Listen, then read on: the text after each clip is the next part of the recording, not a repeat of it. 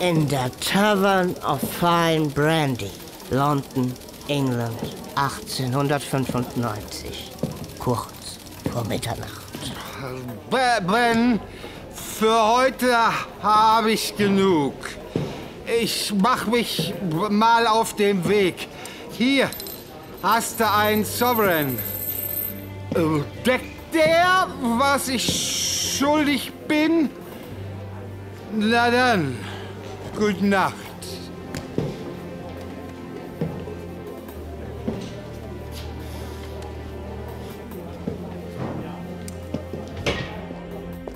Major Cecil Malone, der Dritte im Bunde, seines Zeichens Militärarzt in ihrer Majestät Armee im Ruhestand, verließ Schlag Mitternacht, stockbesoffen die Tavern of Fine Brandy. Leise vor sich hin, kichernd und brabbelnd, wandte er die kopfsteingepflasterte Straße hinunter, wobei er sich von Laternenfall zu Laternenfall langsam vorarbeitete, nicht ohne eine entsprechende ausgedehnte Pause unter jeder einzelnen Gaslichtquelle zu machen, um kurz zu verschnaufen. Sabbernd versuchte er sein Schritttempo dem monotonen Klang von Big Ben anzupassen, was ihm aber nicht wirklich gelingen wollte. Eben stand er wieder unter einer Laterne, heftig mit dem Gleichgewicht kämpfend, als ich mich ihm endlich zeigte. Ich war schon länger hinter ihm her. Geduldig hatte ich ihn ausspioniert, hatte den günstigen Augenblick abgewartet, der jetzt gekommen war.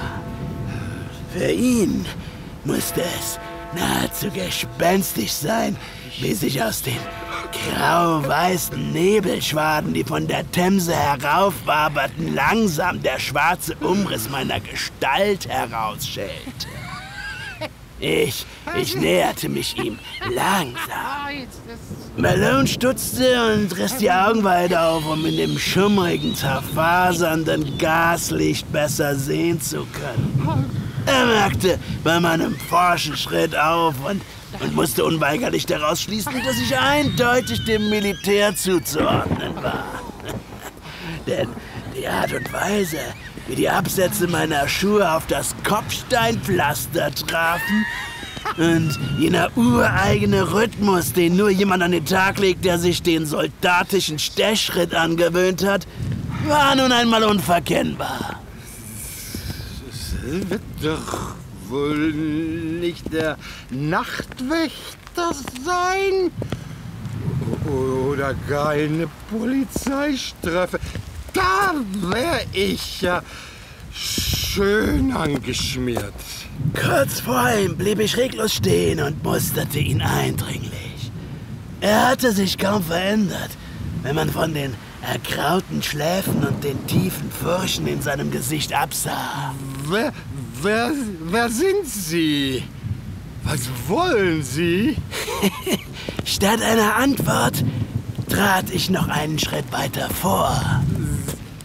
Sie sind kein Polizist, nicht? Sie sind, äh... Er brach stockend ab, als der Schein der Gaslaterne auf mein Gesicht fiel. Dann lächelte er überrascht. John! Ja, ja, du liebe Güte, wo kommst denn du so plötzlich her? Es muss ja vor einer Ewigkeit gewesen sein, dass wir uns zuletzt gesehen... Ähm, ähm, ähm... Was? Ähm... Was, was willst du mit dem Schießeisen schon? Ver- Verdammt nochmal! Bist du übergeschnappt? Nimm das Ding runter! Diese Art von Scherz ist mehr als unpassend.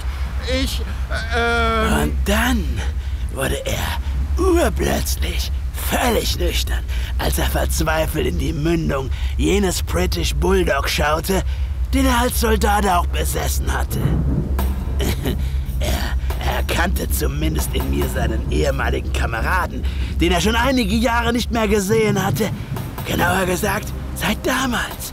als ich mitten im Zweiten Anglo-Afghanischen Krieg verwundet und dann kriegsversehrt nach Hause geschickt worden war. John, was, wa, was, was soll das?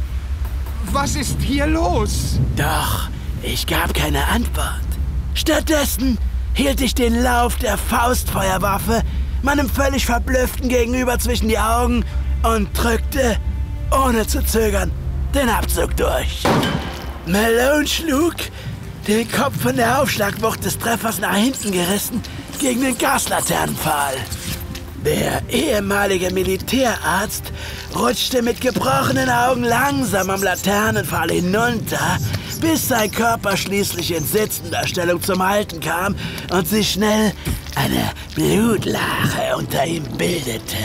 Ich bückte mich zu ihm herab und steckte Nummer drei das etwa handtellergroße viereckige Papier ins Revers seiner Jacke, auf dem die Eingeweihten den Grund für seinen Tod erfahren würden. Dann erhob ich mich und tauchte befriedigt im Nebelmeer der Londoner Nacht unter.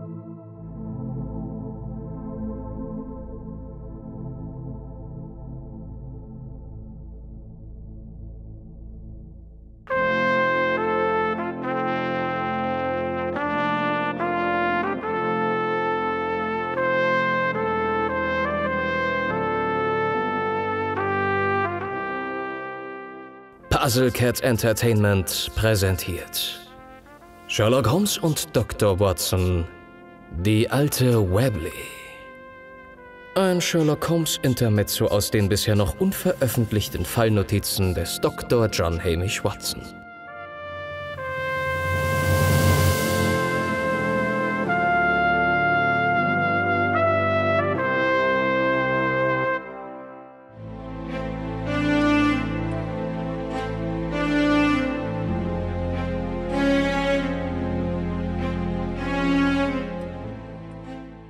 Im Apartment von Sherlock Holmes und Dr. Watson in der Baker Street 221b in London, England 1895 vormittags.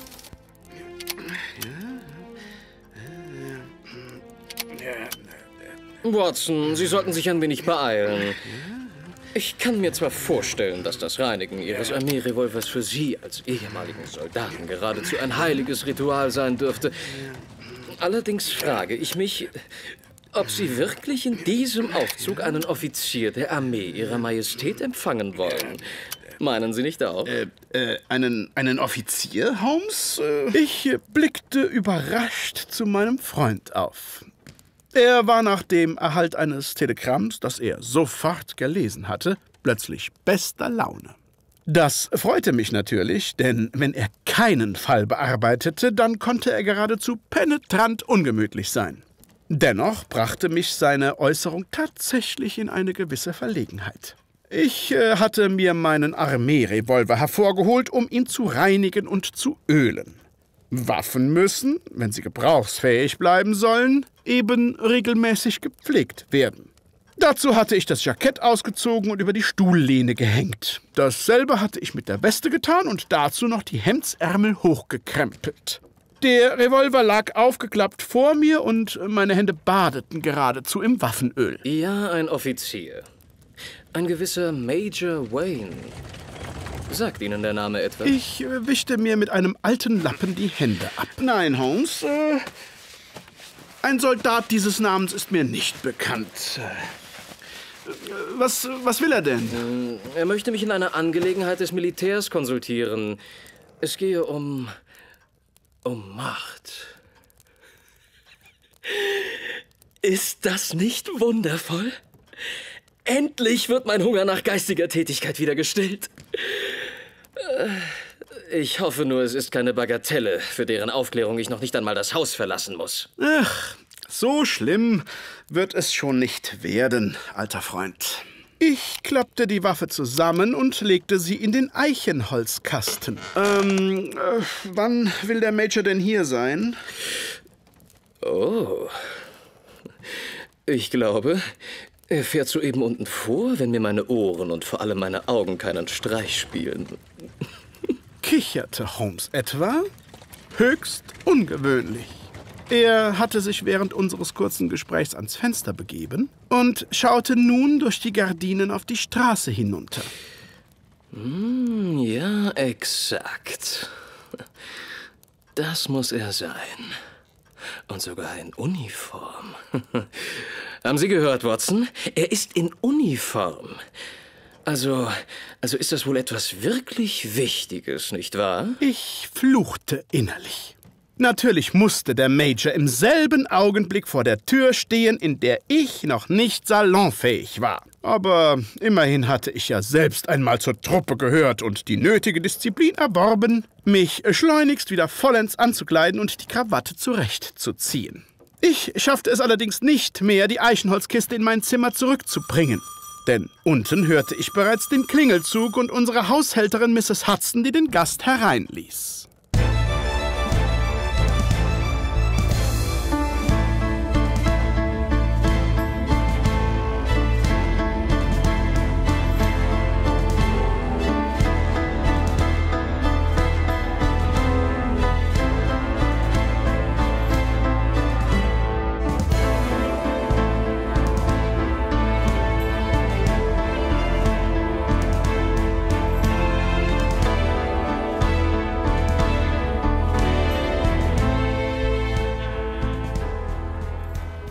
Auf der Treppe ließ sich alsbald der forsche Schritt eines Soldaten vernehmen und das energische Klopfen an unserer Wohnzimmertür beantwortete Holmes mit einem lauten Herein!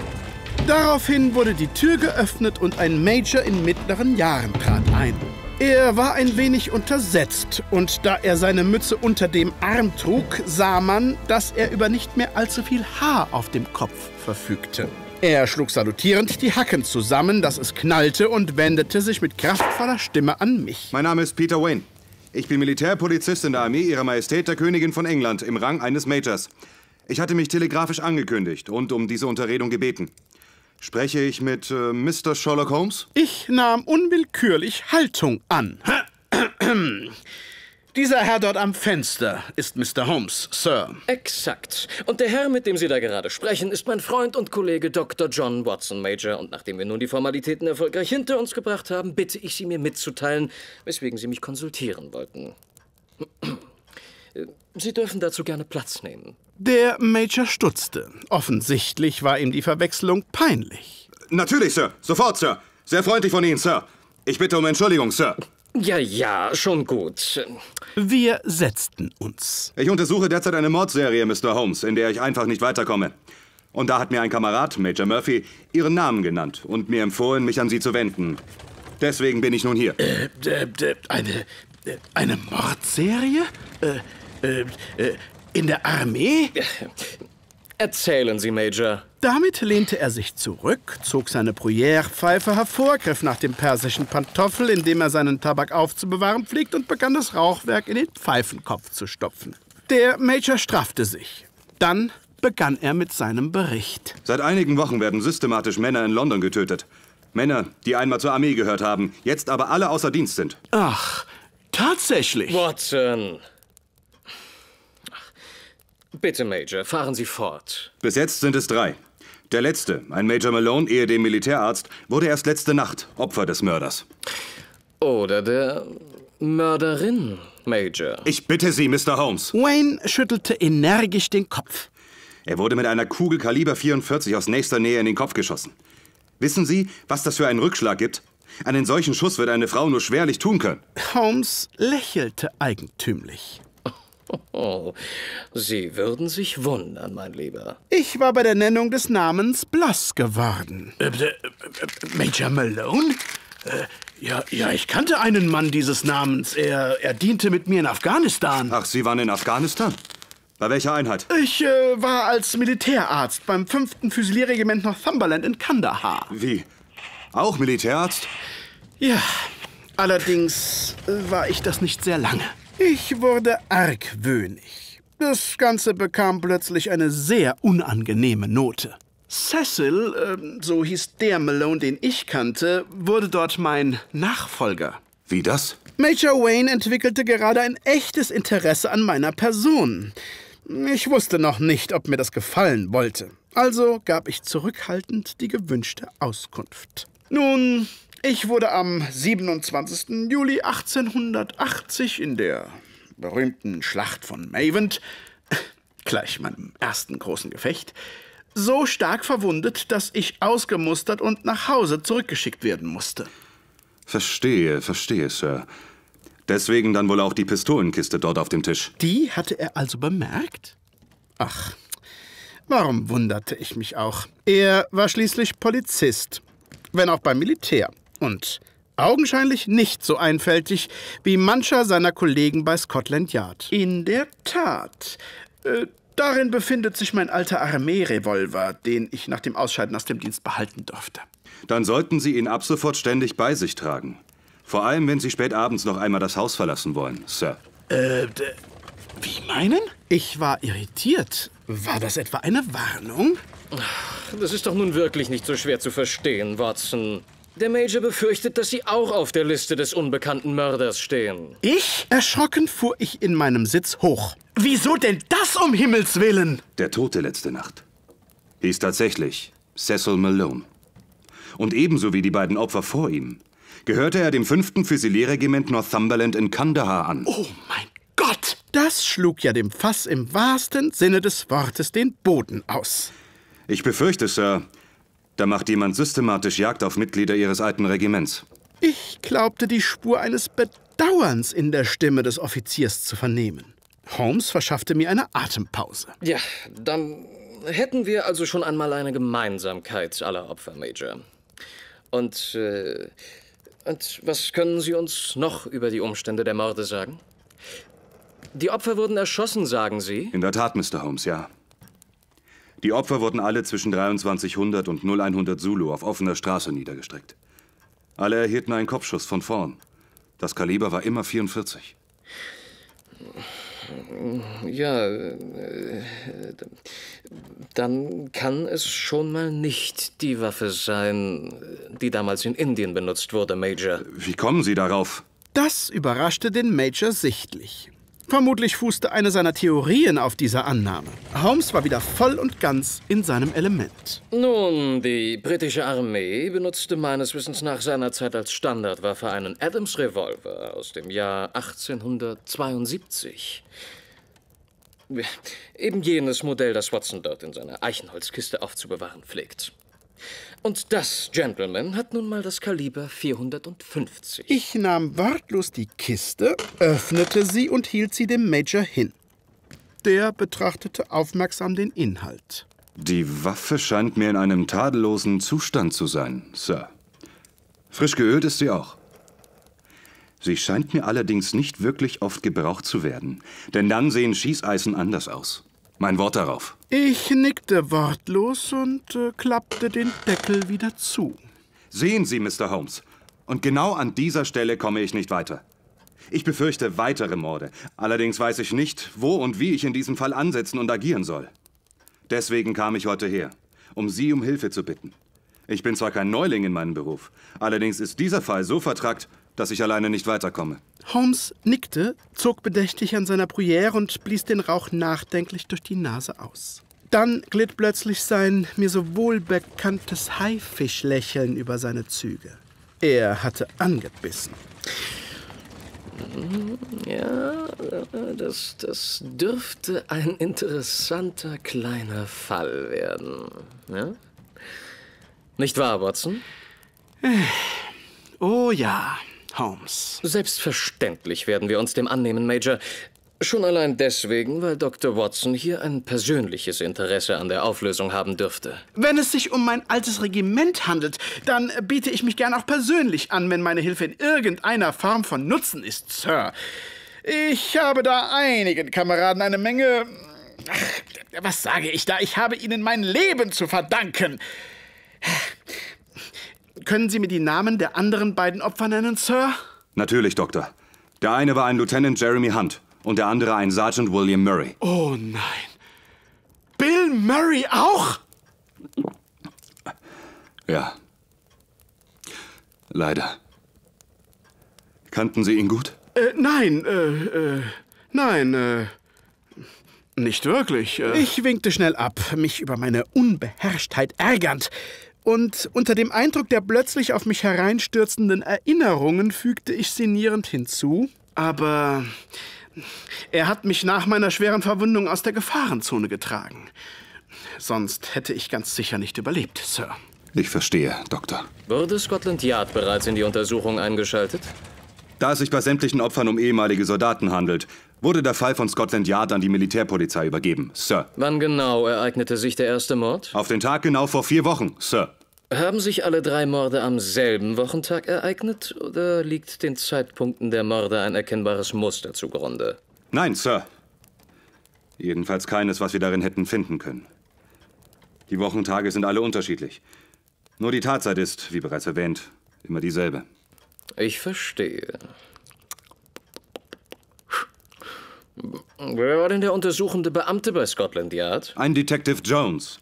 Athelney Jones, Sir. Ach du liebe Güte. Holmes erhob sich. Wir werden unsere Ermittlungen unverzüglich aufnehmen, Major Wayne.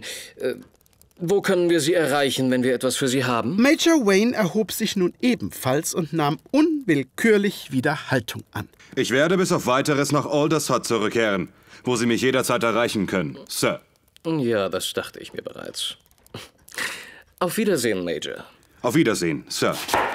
Dr. Watson.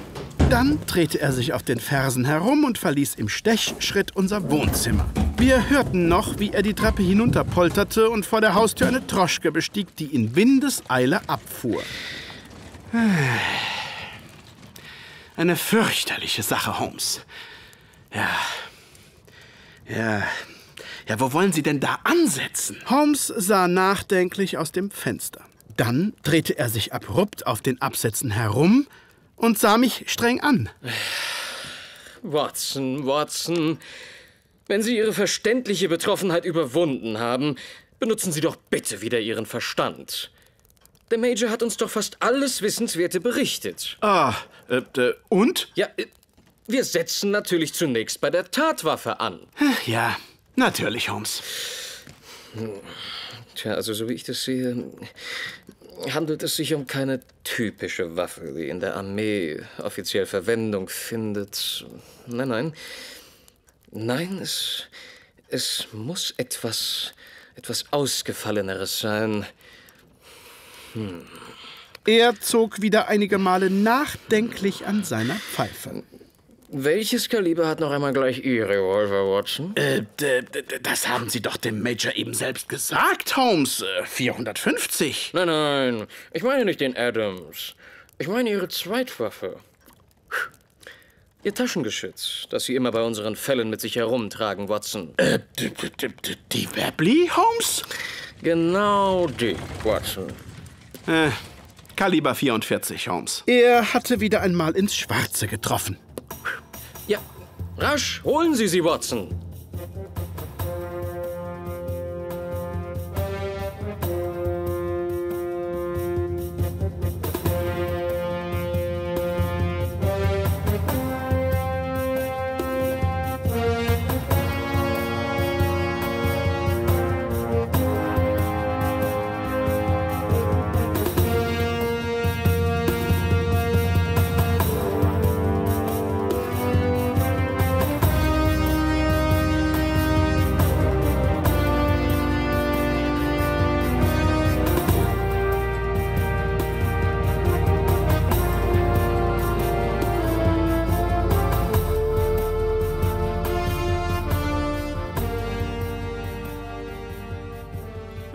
Heute an meine gute alte Webley, wie ich sie der Einfachheit halber immer genannt habe, zurückdenke, die genaue Bezeichnung lautet Webley British Bulldog, so tue ich das mit äußerst zwiespältigen Gefühlen. Der fünfschüssige Revolver war im Jahr 1872 von Philip Webley und Sohn in Birmingham vorgestellt worden und ich hatte ihn mir kurz vor meiner Abreise nach Afghanistan aufgrund seiner Handlichkeit und seiner geringen Größe sozusagen als private Zweitwaffe zugelegt. Man konnte ja nie wissen, nicht wahr? Ebenfalls konnte ich damals noch nicht ahnen, dass mir das Mitführen dieses Taschengeschützes, als das es Holmes bezeichnete in meinem späteren Leben mit dem Meisterdetektiv, in nicht unbeträchtlichem Maße zur ungemeinen Beruhigung meiner wenig strapazierfähigen Nerven dienen würde.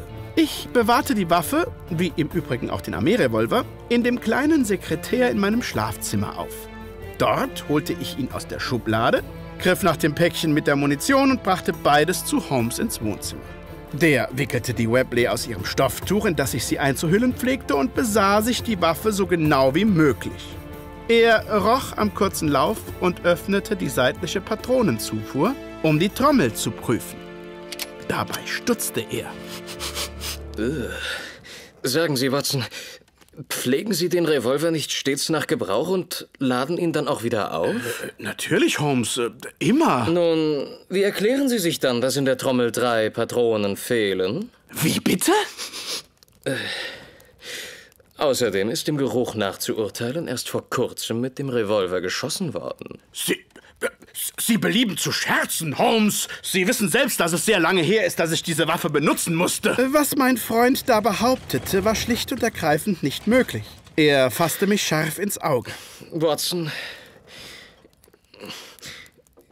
ich muss Sie leider fragen, wo Sie in der letzten Nacht zur Tatzeit gewesen sind. Ich war fassungslos. Verdächtigte er tatsächlich mich? Das konnte doch wohl nicht wahr sein. In, in meinem Bett, Holmes. Wo sonst? Sein stahlharter, völlig emotionsloser Blick schien mich zu durchbohren. Nach einiger Zeit nickte er langsam. Ich glaube Ihnen, Watson. Ich glaube Ihnen, dass Sie glauben und augenscheinlich davon überzeugt sind, in Ihrem Bett genächtigt zu haben. Aber um ganz sicher zu gehen, sollten wir Ihre Garderobe überprüfen. Meine. äh, meine Garderobe? Ja. Insbesondere Ihre Schuhe und die Ärmel Ihres Mantels. Äh, Die Ärmel meines. Äh, äh, äh, was soll das bitte bringen, Holmes? Wenn Sie in der letzten Nacht jemanden erschossen haben, Watson, dann werden sich Schmauchspuren an den Ärmeln Ihres Mantels finden.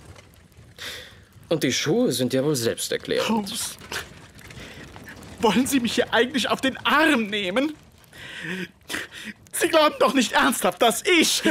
Mit Glauben hat das nichts zu tun, bester Watson, sondern nur mit harten Fakten und der daraus resultierenden Deduktion. Er warf mir einen prüfenden Blick zu. Fest steht, dass in letzter Zeit drei Menschen erschossen worden sind, die mit Ihnen, Watson, in einem Regiment in Afghanistan gedient haben.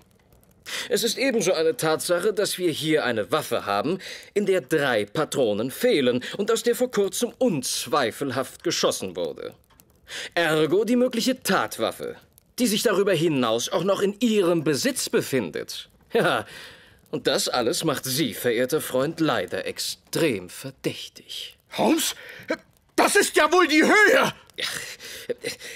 Sich derart zu echauffieren bringt Ihnen auch nichts, alter Freund, und verstärkt den Verdacht überdies nur noch. Wie dem auch sei, man muss natürlich sämtliche Möglichkeiten in Betracht ziehen. Unter anderem auch die, dass man Ihnen das in die Schuhe schieben will. Ihre Kleidung können wir auch später noch überprüfen. Wer, wer hatte denn Zugang zu der Waffe in letzter Zeit? Ach, das, das, das wissen Sie doch ganz genau, Holmes. Natürlich ich. Mrs. Hudson und, und ebenso Sie selbst. Touché. Er lächelte eigentümlich. Es ist also mitnichten bewiesen, dass ich etwas damit zu tun habe, Holmes. Und außerdem wäre ich ja nicht ganz bei Trost, wenn ich Ihnen, gesetzt den Fall, ich wäre der Täter, die Tatwaffe dann auch noch so frei Haus liefern würde. Elementar, Watson. Aber es spricht Sie auch nicht von jeglichem Verdacht frei. Waren Sie nicht vor vier Wochen auf einem Ihrer Ärztekongresse? Das haben Sie sich gemerkt? Ich bin beeindruckt. Heute vor vier Wochen endete der Kongress in Edinburgh und ich kam gerade nach Hause. Wieso fragen Sie? Das ist doch völlig klar, lieber Freund, weil heute vor vier Wochen der erste Mord verübt wurde. Doch so, so, so kommen wir nicht weiter. Wir sollten Detective Jones einen Besuch abstatten. Meinen Sie nicht auch? Jones, ja. Ach ja, Major Wayne erwähnte ihn ja bereits. Der gute alte Attorney Jones, wenn mich nicht alles täuscht. Exakt, Watson. Er leitet die Ermittlungen. Ähm, das ist gut. Er ist ja ein alter Bekannter, das dürfte förderlich sein. Holmes nickte und zog gleich darauf eine sonderbare Grimasse. Ja, er gehört neben Gregson und Lestrade zu den wenigen wirklich fähigen Köpfen bei Scotland Yard. Mhm. Sie kennen ihn ja erst seit dem Fall um das Zeichen der Vier. In der Tat. Damals hat er die ganzen Lorbeeren eingeheimst. Ja, ja. Ich allerdings bin mit ihm bereits im Fall des Juwelenraubes von Bishopsgate erstmals zusammengetroffen. Äh, den Fall kenne ich ja noch gar nicht, Holmes. Ja, das war ja auch vor Ihrer Zeit, mein Freund. Äh, äh, wollen wir? Wollen wir äh, was? Na, hin zu Scotland Yard, um mit ihm zu sprechen? Er dürfte uns weitere wichtige Fakten in dem Fall nennen können, nicht wahr? Äh, Das ist natürlich möglich, Holmes. Also gut. Und so brachen wir gemeinsam auf, um Detective Athelney Jones zu konsultieren.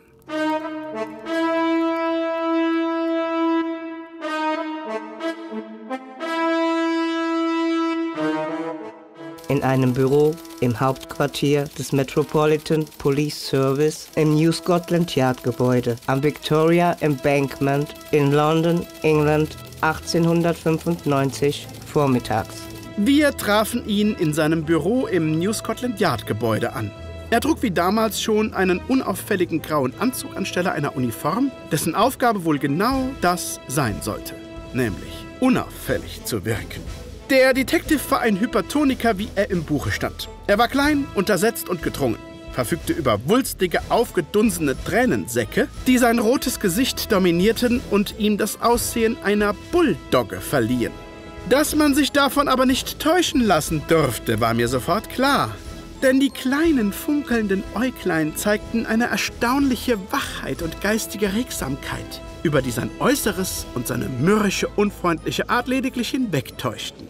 Nein, Athelney Jones war kein Mann, den man unterschätzen sollte, denn ohne Grund hatte er seine Position beim Yard wohl auch nicht inne. Ach, Sherlock Holmes. Der einzige beratende Detektiv Londons gibt sich die Ehre. Wieso wusste ich, dass Sie früher oder später hier auftauchen würden? Mich empörte eine solche Begrüßung. Entbehrte sie doch nicht eines gewissen Spotts, weswegen ich zu einer Entgegnung ansetzte. Na, hören Sie mal! An Ihren Manieren hat sich, wie ich feststellen muss, nichts geändert. Ich sollte Sie... Lassen Sie es gut sein, bester Watson. Detective Jones meint es sicherlich nicht so, wie es bei Ihnen ankam. Jedes einzelne Wort war so gemeint. Also schießen Sie schon los. Meine Zeit ist kostbar. Ich bin ein vielbeschäftigter Mann. Also, also das ist doch... Doch Holmes hielt mich wieder zurück und unterbrach meinen Gefühlsausbruch. Das ist mir durchaus bewusst, Detective. Nun, wir kommen in den Fällen Malone, Murray und Hunt und bitten um ein paar nähere Informationen. Jetzt verengten sich die kleinen Augen des Detectives zu winzigen Schlitzen. Ach, das tut mir leid. Diese Fälle habe ich abgegeben. Sie sind jetzt Sache der Militärpolizei. Die uns um Mithilfe gebeten hat, Detective. Major Wayne hat uns in der Angelegenheit konsultiert und gebeten, Nachforschungen anzustellen. Ach, und da kommen Sie zu mir? Natürlich. Sie waren die erste Anlaufstelle. Immerhin haben Sie die Morde zunächst bearbeitet, wie der Major uns mitteilte. Das stimmt. Wir sind über die Tathergänge grob im Bilde. Uns geht es um Details, um Gemeinsamkeiten. Sie verstehen? Sehr gut sogar. Nun gut, dann will ich mal meine Akten holen. Er erhob sich und begab sich zu einem Schrank, den er öffnete und dem er nach kurzem Suchen drei schmale Aktenordner entnahm. Er kehrte damit zu seinem Schreibtisch zurück, setzte sich wieder, öffnete die Ordner und las einiges nach. Dann begann er. Also, hier die Fakten. Die Tatwaffe war in allen drei Fällen eine kurzläufige Schusswaffe Kaliber 44. Sie wurde den Opfern direkt zwischen die Augen gehalten und dann ausgelöst. Die Zielpersonen hatten keine Chance. Also, wenn Sie mich fragen, trägt das Ganze schon Züge einer Hinrichtung.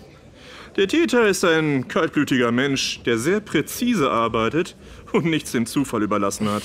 Soweit waren wir bereits im Bilde, Detective. Die drei Toten waren alle ehemalige Soldaten, die im Zweiten Afghanischen Krieg Seite an Seite gekämpft haben. Aufgrund dieser Fakten liegt die Vermutung nahe, dass es sich um einen und denselben Täter handelt und die Morde somit zusammenhängen. Ähm, es waren Kameraden von mir. Ich war in derselben Einheit. Jones musterte mich nachdenklich. Ach, äh, Watson, nicht wahr? John Watson. Hm, das ist richtig. Ich war eher dem Militärarzt beim 5. Füsilierregiment Northumberland in Kandahar. Ah, dann sind Sie ja ein potenzielles weites Opfer, Doktor. Es war nicht diese eigenartige Betonung in seiner Antwort, die ein unangenehmes Gefühl in meinem Magen evozierte. Es war sein Blick, den er nun vollends auf mich richtete. Sie sollten sich vorsehen. Vor allem, wenn Sie... Ach, wenn ich spät abends noch einmal vor die Tür gehen sollte. Ach, das riet mir Major Wayne ebenfalls. Ah, wo er recht hat, hat er recht. Holmes unterbrach unseren kurzen Schlagabtausch rüde. Auch das ist uns bekannt, Detective. Wir sind hergekommen, um uns nach Details zu erkundigen, die der Major uns eventuell nicht erzählt hat. Weil er dem keine große Bedeutung beimaß, oder? Oder weil er es schlicht und ergreifend vergessen hat. Ich war nun nicht mehr in der Stimmung, hier weiter um den heißen Brei herumzureden. Holmes warf mir einen warnenden Blick zu. Hm. Außer dass die Opfer alle auf offener Straße gegen Mitternacht niedergestreckt wurden, fällt mir da nichts weiter. Doch! Halt! Natürlich! Da war noch etwas. Könnte durchaus wichtig sein, wenn ich es jetzt noch so recht bedenke. Ja. Nun? Jones kratzte sich nachdenklich am Hinterkopf und blätterte nochmals in seinen Akten, bis er fand, wonach er gesucht hatte.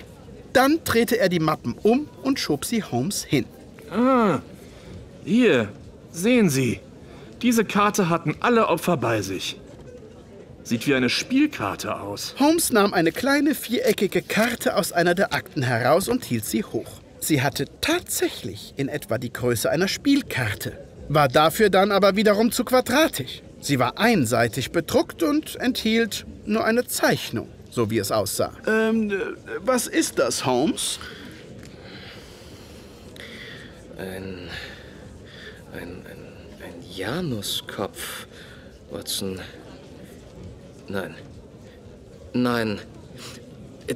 Der Januskopf. Ich bemerkte sofort, dass seine Gedanken schon wieder auf Wanderschaft gingen. Äh, der Januskopf? Doch Holmes ging nicht darauf ein. Stattdessen wandte er sich wieder an Jones. Sagen Sie, waren diese Karten bei allen drei Opfern identisch? Oder, äh, oder gab es Unterschiede, beispielsweise in der Farbe oder, oder in der Zeichnung selbst? Der Detective runzelte die Stirn und kratzte sich erneut am Hinterkopf. Dann warf er noch einmal einen intensiven Blick in die Akten. Hm. Nicht, dass ich wüsste. Wenn ich ehrlich bin, habe ich so genau nicht darauf geachtet. Oh, das sollten Sie aber, Detective. Jedes Detail kann den entscheidenden Hinweis enthalten. Aber ich. Ich sehe hier nur zwei. Diese beiden sind auf den ersten Blick identisch. Wo ist denn die dritte Karte abgeblieben? Ich vermute, die hat diese Ärztin mitgenommen. Ähm, Ärztin? Welche Ärztin? Jones verzog das Gesicht. Dr. Harriet Jekyll. Sie arbeitet als psychologische Beraterin für den Yard und schnüffelt überall herum. Ähm, ich wusste gar nicht, dass der Yard seit neuestem einen psychologischen Berater beschäftigt. Sehr fortschrittlich, das muss ich sagen. Immerhin ist die Psychologie ein recht junges Forschungsfeld. Damit hätte ich nicht gerechnet. Und dann dieser, dieser Name. Ach, nun, Watson, meine Dienste, nämlich die eines, wenn Sie so wollen, kriminologischen Beraters, nimmt man hier ja auch in Anspruch. Also, warum sollte sich der Yard dann nicht auch derjenigen eines Fachmanns für die psychologischen Belange der Polizeiarbeit bedienen? Das ist eigentlich nur logisch, also folgerichtig. Aber sagen Sie, Detective, wo wohnt denn diese Dr. Jekyll? Und äh, wie kann ich sie erreichen? Holmes benahm sich nun wie ein Bluthund, der eine Fährte witterte. Jones zuckte mit den Achseln. Hm, da werden Sie den Commissioner fragen müssen. Der koordiniert die Einsätze der Berater und verfügt dementsprechend auch über die Adressen. Danke, Detective. Kommen Sie, Watson. Und schon war er aus der Tür hinaus. Mir blieb nur noch, ihm schleunigst zu folgen.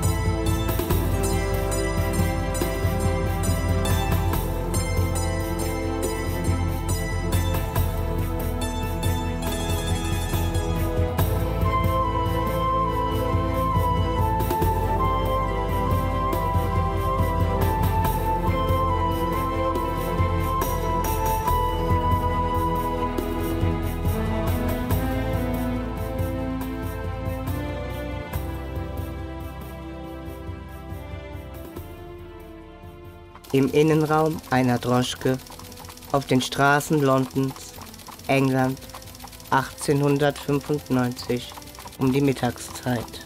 Dass die Verbindungen meines Freundes bei Scotland Yard außerordentlich gut waren und sogar bis zum Polizeichef reichten, war mir hinlänglich bekannt. Und so wunderte es mich auch nicht, dass wir binnen kürzester Zeit im Besitz der Adresse von Dr. Jekyll waren. Dr. Harriet Jekyll. Hm, nun ja, ich muss zugeben, dass mich dieser Name zutiefst beunruhigte. Nicht etwa, weil ich die Dame persönlich kannte, nein, mir war aber leider der Nachname Jekyll aus der Literatur nur allzu geläufig und ich ahnte, dass wir in große Schwierigkeiten geraten würden, wenn wir uns nicht entsprechend vorbereiteten. In der Kutsche musste ich Holmes einfach meine Bedenken mitteilen. Äh, Holmes, äh, ich, äh, ja. Ich hatte das Gefühl, dass er innerlich wieder viel zu beschäftigt mit seinen eigenen Gedanken war, um mir sinnerfassend zuhören zu können. Ich äh, muss mit Ihnen über diese Ärztin sprechen, zu der wir da jetzt unterwegs sind. Hm, ja, das, das, das dachte ich mir, mein lieber Freund. Sie. Sie wirken schon seit der Erwähnung Ihres Namens etwas angespannt. Also, was bedrückt Sie denn so? Ja, sagt Ihnen denn der Name nichts, Holmes? Nein. Tut mir leid. Aber, aber Ihnen, lieber Freund, scheint der Name bestens bekannt zu sein, nehme ich an. Allerdings. Sagen Sie, Holmes, äh, sind Sie mit den Werken von Stevenson vertraut? Er überlegte einen Augenblick. Sie. Äh, Sie meinen den schottischen Schriftsteller, der vor etwa einem Jahr verstorben ist? Robert Louis Balfour Stevenson. Ja, genau den. Ein tragischer Fall. Verstarb an Tuberkulose. Wurde nur 44 Jahre alt. Da hob Holmes theatralisch den Arm und begann urplötzlich im Stil eines alten Seefahrers laut zu singen. 15 Mann auf ner toten Kiste. Joho, und ne Pulle voll Rum.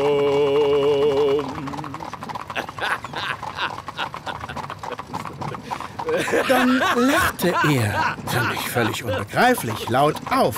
Das hielt allerdings nicht lange an. Bald schon seufzte er schwer und schüttelte energisch den Kopf. Watson, Watson. Sie wissen doch, dass ich mir nichts aus derartigen frei erfundenen Abenteuergeschichten mache. Sie sind meistens der Fantasie eines kranken Menschen entsprungen. In dem Fall sogar den Fieberträumen eines Schwindsüchtigen und entbehren jedweder Realität. Ein vernünftiger Mensch sollte so etwas nicht lesen. Na gut. Die Schatzinsel kennen Sie also. Aber wie verhält es sich mit der Novelle Der seltsame Fall des Dr. Jekyll und Mr. Hyde, die 1886 erschien? ja, Dr. Henry Jekyll und sein negatives alter Ego, Mr. Edward Hyde. Ja, ja. Und hier haben wir es mit einer Frau Dr. Harriet Jekyll zu tun. ja. Ja, eine, eine wirklich interessante Namensgleichheit, nicht wahr? Sogar die Schreibweise stimmt überall. Bei diesem Lachen fuhr mir ein eiskalter Schauer den Rücken hinab. Dann nickte er zustimmend. Mhm. Diese Erzählung habe ich tatsächlich gelesen, weil es sich dabei um die fiktionale Aufbereitung eines realen Geschehens handelt, Watson. Reine Zeitverschwendung, wie ich feststellen musste. Ach, äh, tatsächlich? Ja, der durchaus interessante, wenngleich auch wenig spektakuläre Fall, auf den sich Stevenson in seiner Novelle bezieht, liegt wohl etwas mehr als 100 Jahre zurück. William Brody, ein schottischer Kunsttischler aus Edinburgh, erwies sich am Tag als tugendhafter Vorzeigebürger, in der Nacht allerdings als gemeiner Dieb und Räuber. Als ihm ein Streich gegen die schottische Finanzabteilung für indirekte Steuern misslang, floh er aufs Festland, wo er jedoch in Amsterdam gefangen genommen, wieder nach England zurückgebracht, eingekerkert und schließlich zum Tode verurteilt wurde. Wenn ich mich recht besinne, wurde er ähm, 1788 gehängt. Leider hatte Brody rein gar nichts mit der von Stevenson beschriebenen Form von Persönlichkeitsspaltung zu tun. Sie tragen Ihren Ruf als wandelndes Lexikon der Kriminalgeschichte wahrlich zurecht, Holmes. Nun ja, Stevensons Fiktionalisierung des tatsächlichen Geschehens gleicht doch in Stil, Form und Darstellungsweise sehr Ihren Niederschriften unserer Fälle, lieber Freund. Stevenson hätte wohl besser kein Laudanum zu sich nehmen sollen. Vor allem nicht in solch rauen Mengen, denn das dürfte die psychischen Symptome seiner Krankheit noch verstärkt haben. Hm. Sie meinen, dass äh, durch das Opium, das in diesem Modegetränk enthalten ist, eventuell Angstzustände erzeugt wurden, die Stevenson zur Abfassung seiner Novelle inspirierten? Albträume wären nach dem Genuss dieses Teufelszeugs zumindest keine Seltenheit. Nicht wahr, Doktor? Natürlich. Äh, das wird ja in der einschlägigen medizinischen Literatur auch immer als Folge eines erhöhten Konsums angegeben. Na sehen Sie, also alles halb so wild. Stevenson beschreibt in seiner Novelle ja auch, dass es durch die regelmäßige Einnahme einer synthetischen Droge, die er als Tinktur oder Zaubertrank bezeichnet, zur Spaltung der Persönlichkeit seines Protagonisten Henry Jekyll kommt. Exakt, Holmes. Genau so ist es. Und hier, lieber Watson, werden wir ansetzen. Aha. Und, äh, ja, was wollen Sie dann von dieser Dr. Jekyll? Ich konnte mir einfach nicht vorstellen, dass es sich hier um einen Routinebesuch im Rahmen seiner Ermittlungen handelte. Irgendetwas hatte es mit dieser Frau auf sich. Ist das nicht offensichtlich, bester Watson? Gerade Sie müssten doch eigentlich sofort verstehen, was ich von einer so ungewöhnlichen Frau will. Ach, zugegeben, Holmes. Eine Frau mit Doktortitel ist in unseren Zeiten wahrlich etwas Besonderes. Aber ich schwöre Ihnen, dass man in den nächsten Jahrzehnten in zunehmendem Maße immer mehr Frauen zur Promotion zulassen wird. Warum auch nicht? Das Geschlecht sagt ja nun wirklich nichts über die wissenschaftliche Befähigung aus, nicht wahr? Mag sein. Allerdings hat sie trotz ihrer fortschrittlichen Einschätzung, mein Freund, ihren Doktortitel definitiv nicht in England verliehen bekommen, was sie weiterhin zu einer interessanten Gesprächspartnerin macht. Während er sprach, kehrte er bereits wieder in seine fallbedingte, typische Gedankenversunkenheit zurück und schwieg. Ich wusste, dass es nun sinnlos war, weiter in ihn zu dringen und harrte mit flauem Gefühl im Magen der Dinge, die da kommen würden. Bye.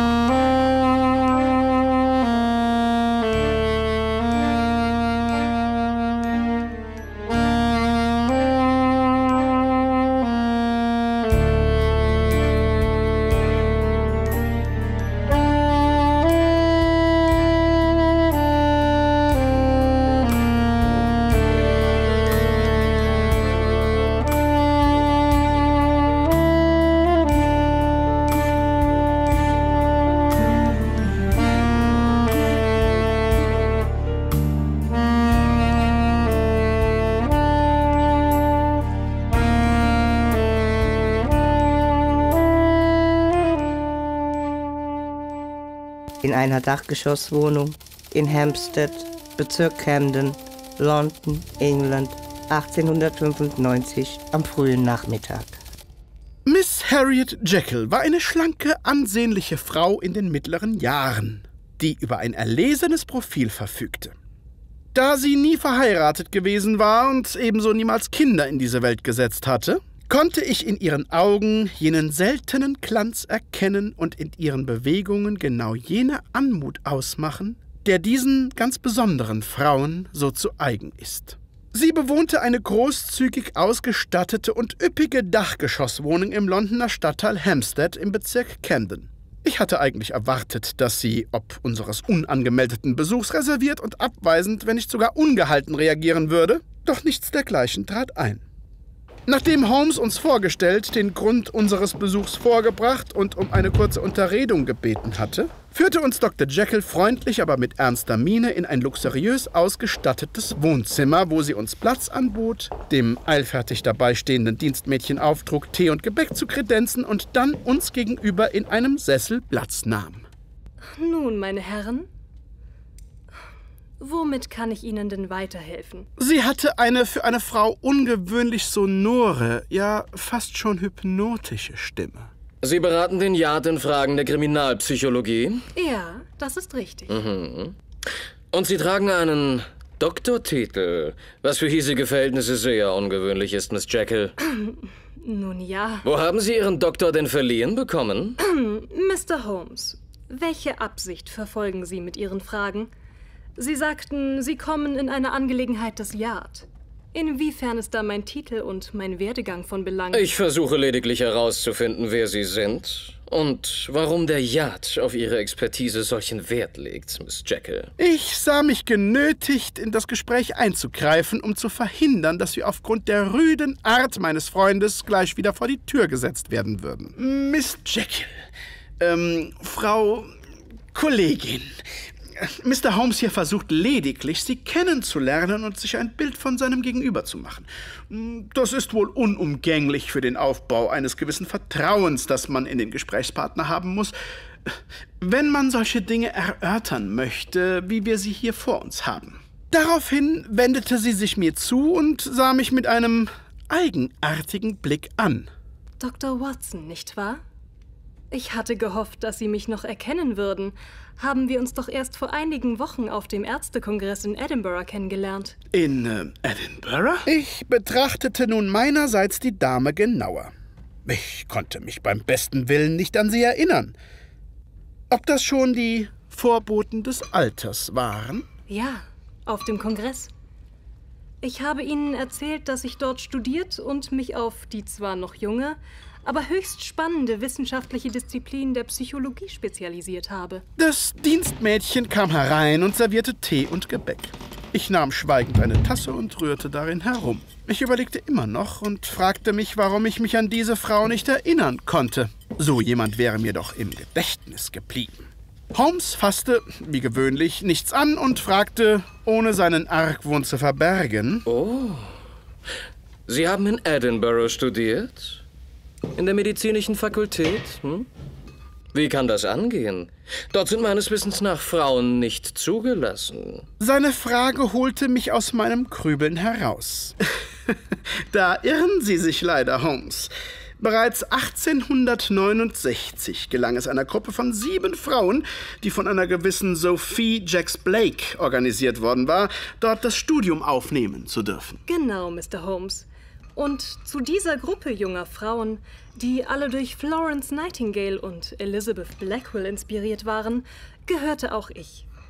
Im Anschluss ging ich dann nach New York, wo ich meine Studien bei meinem Vorbild Elizabeth Blackwell vervollständigte und Mitte der 70er Jahre den Grad eines medizinischen Doktors erwarb. Hm, eine bemerkenswerte Karriere, meine Liebe. Als ich nach England zurückkehrte, war ich durch Friedrich August Rauch, der das erste Lehrbuch der Psychologie verfasst hat, Herbert Spencer, Paul Broca's Neurophysiologie und Charles Darwins vergleichende Verhaltensforschung so geprägt, dass ich begann, mich ausschließlich darauf zu konzentrieren.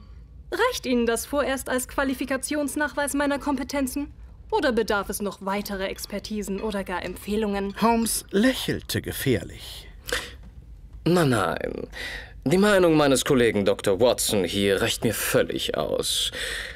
Um aber alle Unklarheiten aus der Welt zu räumen, muss ich noch eine Frage stellen. Dr. Jekyll schluckte ihren aufkommenden Ärger mühsam hinunter.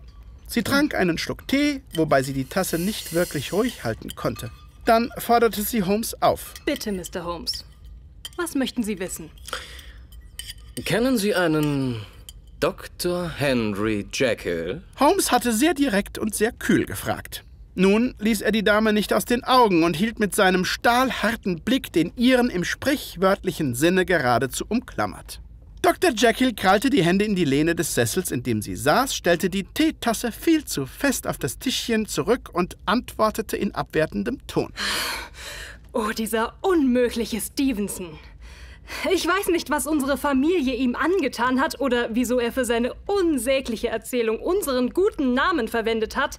Aber seit er vor neun Jahren diese völlig absurde und an den Haaren herbeigezogene Novelle in die Welt gesetzt hat, werden wir automatisch immer wieder damit in Verbindung gebracht. Beruhigen Sie sich doch, meine Liebe. Sich derart zu erregen, macht es auch nicht besser. Sie wissen nicht, wie das ist, Doktor. Sie haben keine Ahnung, was mein Bruder, der zufällig auch Henry heißt, deswegen alles durchmachen musste. Holmes blieb völlig ruhig. Gelassen und sehr zielgerichtet fragte er. Sie wurden bei den Morden an Cecil Malone, Jeremy Hunt und William Murray von Scotland Yard hinzugezogen? Harriet Jekyll schien bei der plötzlich so konkreten Frage zu den Fällen, wegen denen wir ja eigentlich gekommen waren, unmerklich aufzuatmen. Sie wurde von jetzt auf gleich wieder ruhiger. Ihre Antwort kam klar und präzise. Das ist korrekt, ja. Bis man uns den Fall entzog und ihn der Zuständigkeit der Militärpolizei in Aldershot überantwortete. Bei den Toten wurde jeweils eine quadratische Karte mit der Abbildung des Januskopfes gefunden. Auch das ist richtig. Es handelte sich jeweils um eine kunstvolle Zeichnung desselben. Dr. Jekyll wirkte nun wieder absolut professionell. Holmes hingegen ähnelte immer mehr einem auf der Lauer liegenden Raubtier. Waren die Zeichnungen auf allen drei Karten gleich? Absolut identisch, Mr. Holmes. Und, wenn Sie mir die Bemerkung gestatten, auch absolut meisterhaft in der Ausführung. Ich glaubte, bei diesen Worten fast schon so etwas wie Bewunderung in Jekylls Tonfall ausmachen zu können. Das irritierte mich etwas. Auch Holmes schien das nicht entgangen zu sein, denn er verstärkte die Intensivität, mit der er fragte. Sie haben eine der Karten an sich genommen. Vermutlich, um sie sich genauer anzusehen und sie zu analysieren. Also, wie interpretieren Sie dieses Symbol? Nun, Janus war einer der sogenannten älteren Götter im antiken Rom. Er ist sogar ursprünglich römisch, ohne Entsprechungen in anderen Mythologien. Janus, im Lateinischen mit einem I am Anfang statt des bei uns gebräuchlichen Js, galt bei den Römern als Gott des Anfangs und des Endes. Sie finden ihn heute noch in der Bezeichnung Januarius für den Monat Januar wieder. Er symbolisiert die Dualität des Seins. Er steht dafür, dass alles immer zwei Seiten hat, ähnlich einer Medaille. Janus ist das Sinnbild für das Gegensätzliche in allen Dingen. Kurz, er verdeutlicht das Gute und das Böse in jedem von uns. Holmes nickte stumm, fixierte Jekyll jedoch immer noch mit angespannter Konzentration. Das ist klassische Bildung, Doktor. Bücher wissen, dass sich jeder aneignen kann, der des Lesens mächtig ist. Ihre professionelle Deutung bitte. Sie wich seinem Blick nicht aus. Im Gegenteil. Sie schien das Duell anzunehmen, was sich da auf rein geistiger Ebene zwischen beiden abspielte. Also gut. Es gibt im Wesentlichen nur zwei Möglichkeiten. Entweder handelt es sich um die Visitenkarte des Mörders, der ein Mensch mit zwei Gesichtern sein muss, oder es ist ein Hinweis auf den Ermordeten und dessen zwiegespaltenes Wesen. In jedem Fall aber muss man den Anfang dessen suchen, was durch den Mord sein Ende gefunden hat. Hm. Sehr kryptisch, Doktor. Holmes zog seine Kreise enger. Könnte man ein solches Phänomen künstlich hervorrufen? Hm? So wie es Stevenson in seiner Novelle beschreibt? Auf gar keinen Fall. Das ist unmöglich. Nun schmunzelte ich unwillkürlich. Hier lag die Kollegin meines Wissens und meiner Erfahrung nach falsch. Das musste ich auch sofort kundtun. Sie vergessen die nachgewiesene Wirkung von Psychostimulantien, Doktor. Äh, denken Sie an den Teufelsfuß, Holmes. Doch mein Einwand beeindruckte Sie nicht im mindesten. Das ist etwas ganz anderes, Herr Kollege. Das hier beschriebene Phänomen lässt sich medikamentös weder hervorrufen noch forcieren. Holmes lächelte eigentümlich, so als habe er sein Gegenüber endlich da, wo er es haben wollte. Damit wir uns richtig verstehen, Dr. Jekyll, dann sind Sie also aufgrund Ihrer fachlichen Kompetenz nicht der Meinung, dass man mit Hilfe einer synthetisch hergestellten Droge die Persönlichkeit eines Menschen derart aufspalten kann, dass sich seine positive als auch seine negative Seite unterschiedlich manifestiert, ja, dass sogar eine morphologische Veränderung des Erscheinungsbildes damit einhergeht? Jetzt sah Dr. Jekyll Holmes an, als sei er nicht ganz bei Trost und schüttelte hernach heftig den Kopf. Um Gottes Willen, nein! Wie sollte so etwas möglich sein? Sie stimmen mir aber doch sicher dahingehend zu, dass es Krankheiten gibt, die den Körper eines Menschen verändern, deformieren, ihm ein gänzlich anderes Aussehen verleihen können und dass es auch psychologische Ursachen für eine solche Erkrankung gibt? Natürlich. Aber doch nicht in der Art und Weise, wie Stevenson es beschreibt. Es handelt sich dabei in der Regel um krankhafte Veränderungen des Knochenbaus und der Haut, die nicht so schnell rückbildbar sind und meistens enorme Narben und Nachwirkungen hinterlassen, sofern sie nicht zum Tode führen, Mr. Holmes. Ich hatte den Eindruck, dass sie immer noch nicht so recht wusste, worauf Holmes eigentlich hinaus wollte. Also sprang ich ihr bei. Ähm, ich möchte noch ergänzen, dass natürlich der langfristige, regelmäßige Konsum gewisser Drogen eine seelische Veränderung in den Patienten hervorruft. Denken Sie nur an die Raucher in den Opiumhöllen. Auch Ihr Morphium- und Kokainkonsum wird sich eines Tages bemerkbar machen, Holmes. Die Folge meines Lasters ist lediglich eine Erweiterung meiner geistigen Fähigkeiten, bester Watson. Ja? Nicht mehr und nicht weniger. Also bitte. Dr. Jekyll und ich sahen uns daraufhin betroffen an. Wir wussten wohl beide in diesem Moment, wie falsch mein Freund lag, der sich daraufhin völlig unerwartet erhob. Dr. Jekyll, ich denke, ich habe alles erfahren, was ich wissen wollte. Ich bedanke mich für die Zeit, die Sie uns geopfert haben und hoffe, dass ich Sie wieder aufsuchen darf, wenn ich weitere Fragen haben sollte. Dr. Jekyll und ich erhoben uns ebenfalls. Sie reichte Holmes die Hand. Aber natürlich, Mr. Holmes. Melden Sie sich aber bitte das nächste Mal vorher an. Dann werde ich mir die entsprechende Zeit gerne für Sie nehmen. Ich werde das Dienstmädchen anweisen, Sie nach draußen zu begleiten. Ah, nicht nötig, nicht nötig. Bemühen Sie sich nicht. Wir finden den Weg hinaus auch so. Auf Wiedersehen, Dr. Jekyll. Holmes drehte sich auf dem Absatz herum und bewegte sich Richtung Ausgang. Ich wollte ihm folgen, wurde aber durch Dr. Jekyll daran gehindert. Sie ergriff meinen Arm und raunte mir so leise, dass Holmes es wohl nicht mehr hören konnte, zu. Es würde mich freuen, verehrter Kollege, wenn wir die angenehme Konversation, die wir auf dem Kongress begonnen haben, bald einmal fortsetzen könnten. Besuchen Sie mich doch recht bald wieder. Dabei schienen ihre Augen zu glühen und mich bis auf den allerletzten Winkel meiner Seele zu erfassen. Dann ließ sie mich endgültig los und ich folgte Holmes wobei ich das eigenartige Gefühl hatte, auf Watte zu laufen.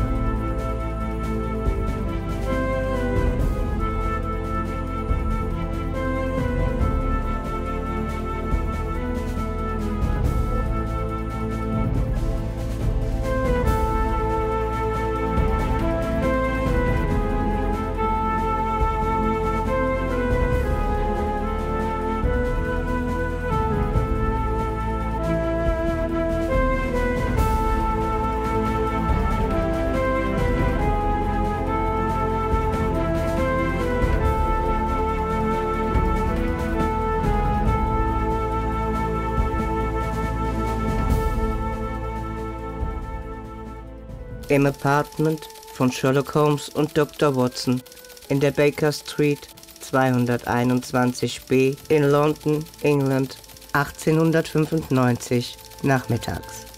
Auf der Rückfahrt verfiel Holmes wieder in sein mir so wohlbekanntes Schweigen.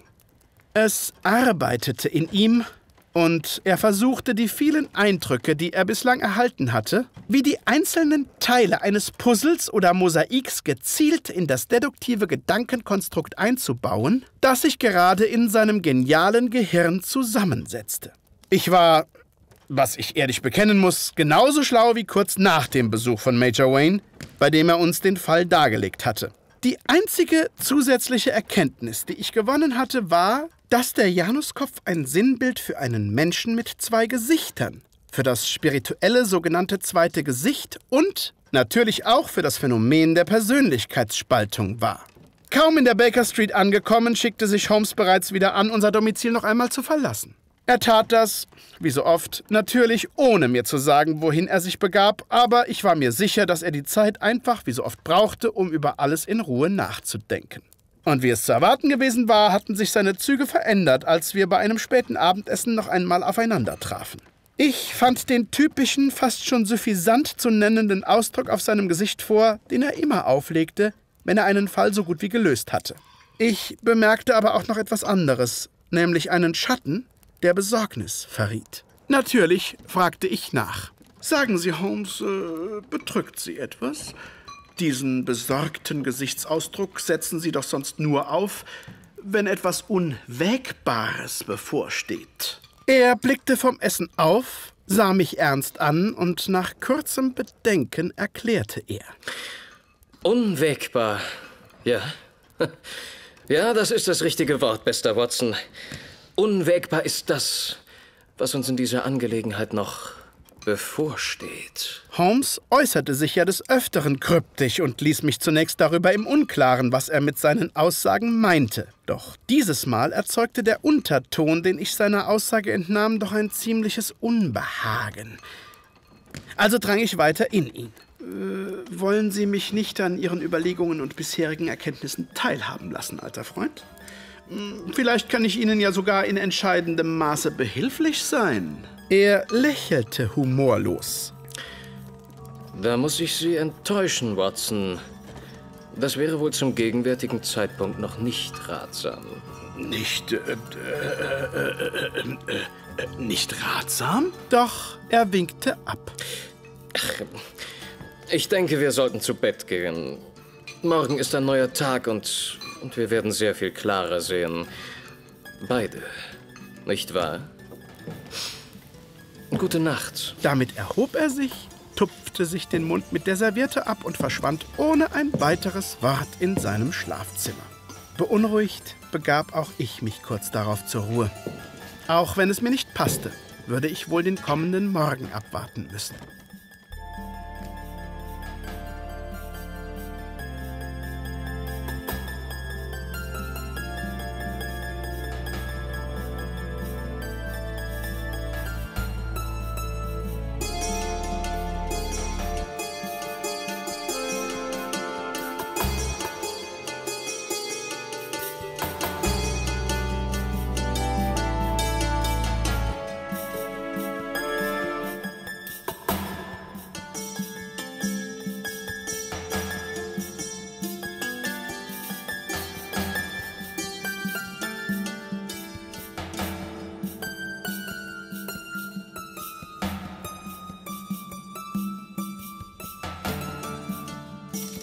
Im Schlafzimmer von Dr. Watson in der Baker Street 221b in London, England, 1895, kurz vor Mitternacht.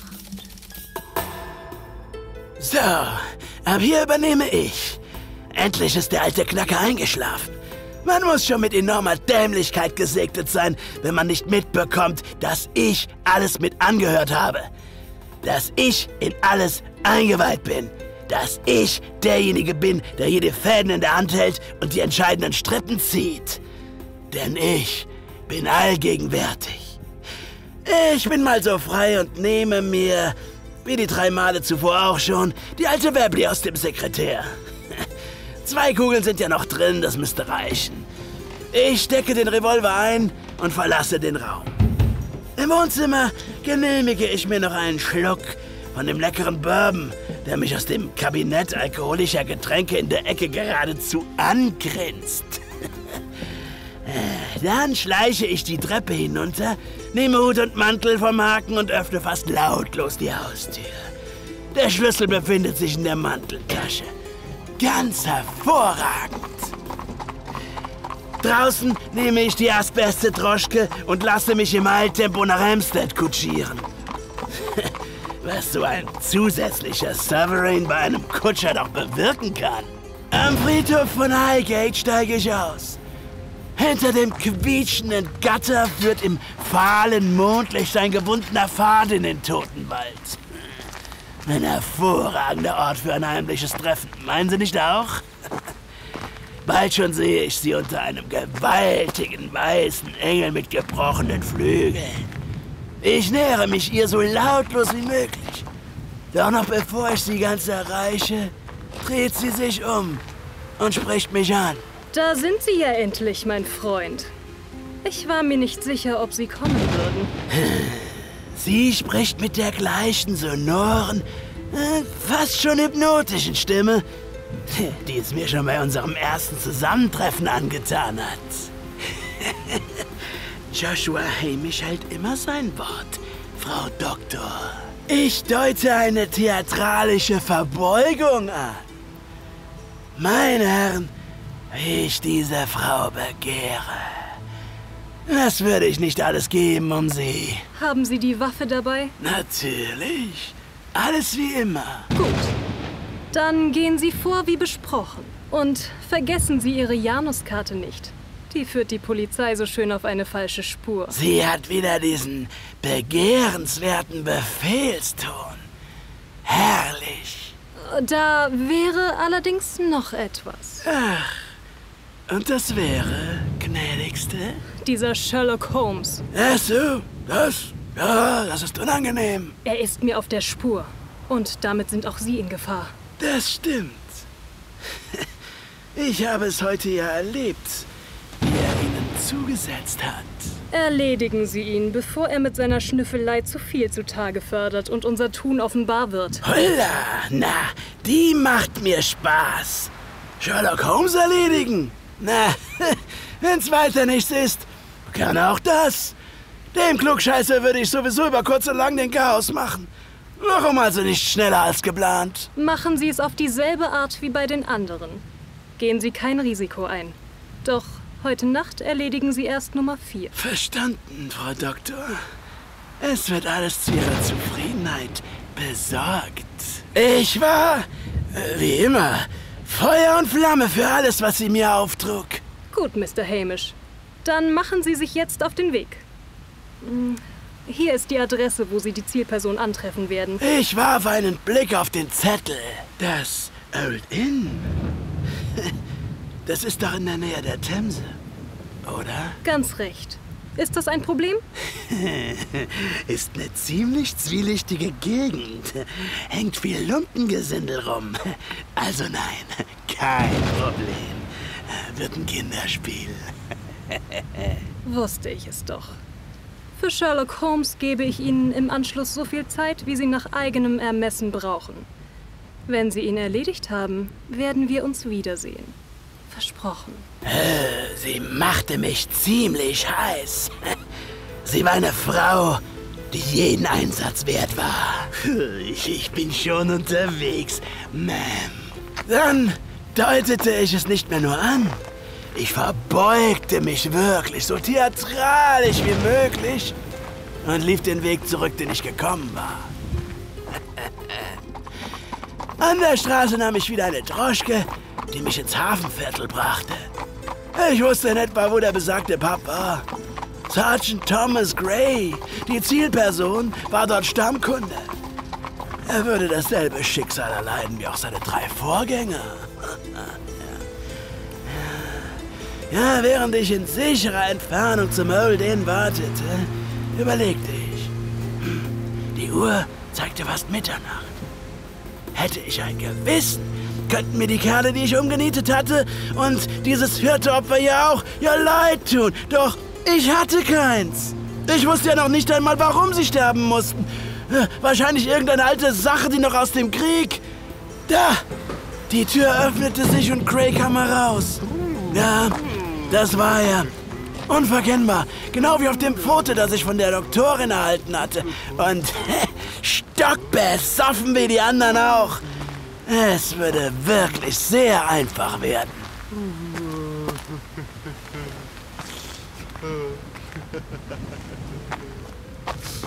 Oh, Jesus, ist das schön.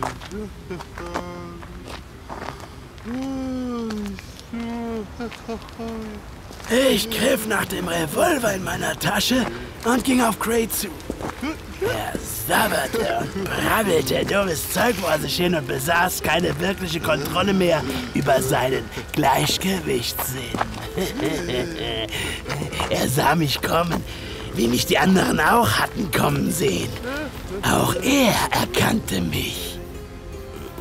John? Ja, du liebe Güte. Äh, wo kommst du denn so plötzlich her? Ja, das muss ja vor einer Ewigkeit gewesen sein, dass wir uns zuletzt gesehen. Was, äh, was willst du mit dem Schießeisen, John? Verdammt noch mal, bist du übergeschnappt. Nimm das Ding runter. Diese Art Scherz ist mehr als unpassend. Ich, ähm... Er benutzte sogar dieselben Worte wie sein Vorgänger. Ich stutzte. Irgendetwas war hier faul. Äh, Ich hatte gerade ein sehr starkes Déjà-vu. Doch, doch das dürfte mich nicht von meinem Vorhaben abbringen. Ich zog die Webley, hielt sie dem verblüfften Mann zwischen die Augen und drückte ab. Ein Klicken war die Folge. Verdammt! Hatte ich eine leere Kammer erwischt? Ich drückte noch einmal und noch einmal. Immer wieder dieses Klicken. Ich erkannte, dass ich getäuscht worden war.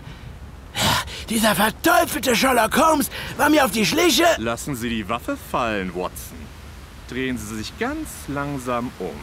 Ich tat es und, und sah drei Männer unweit von mir, von denen zwei eine Waffe auf mich gerichtet hatten. Äh, einer trug eine Uniform. Werfen Sie die Waffe weg, Watson. Bitte. In dem mittleren der drei erkannte ich äh, Sherlock Holmes. Ich habe die British Bulldog vorsichtshalber entladen. Sie ist sowieso leer. Ihre Auftraggeberin haben wir bereits auf dem Friedhof von Highgate festgenommen. Sie befindet sich in sicherem Gewahrsam. Der Uniformierte spannte den Hahn an seinem Revolver. Äh, Ich ließ die Waffe sinken. Ich werde Sie jetzt festnehmen und Ihnen Handschellen anlegen, Watson. Der zweite Bewaffnete war ein untersetzter, bulliger Typ mit enormen Tränensäcken. Ich kenne keinen Watson. Mein Name ist Hamish. Joshua Hamish. Verstanden? Mir völlig gleich, wie du heißt. Mistkerl. Da! Nimm das! Diese Stimme hinter mir. Gray. Äh, den hatte ich völlig vergessen. Ich drehte mich blitzschnell um, sah noch einen Schatten auf mich zurasen.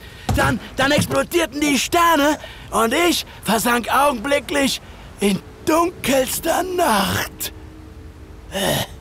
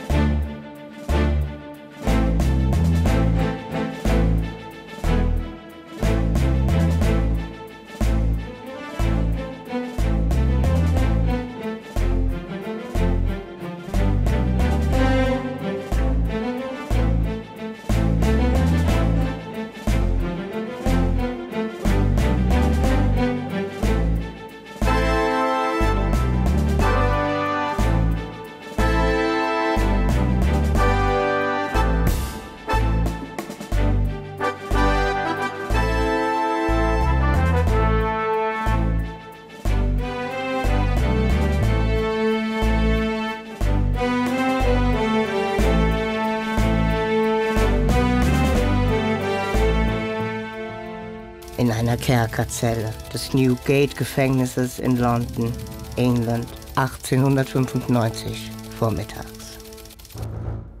Eine Kerkerzelle? Wie zum... Ja, zum Donnerwetter nochmal, wie war ich denn hierher gekommen? Meiner letzten Erinnerung zufolge hatte ich mich doch am gestrigen Abend noch genüsslich in meinem Bett herumgedreht und war selig in Morpheus Armen entschlummert.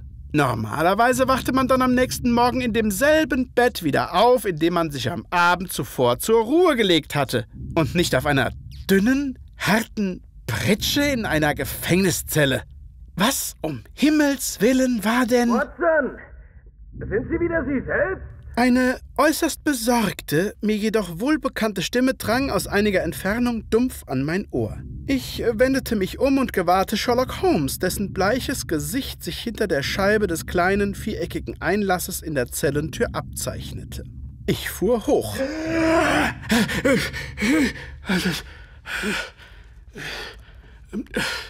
Das, das, Äh,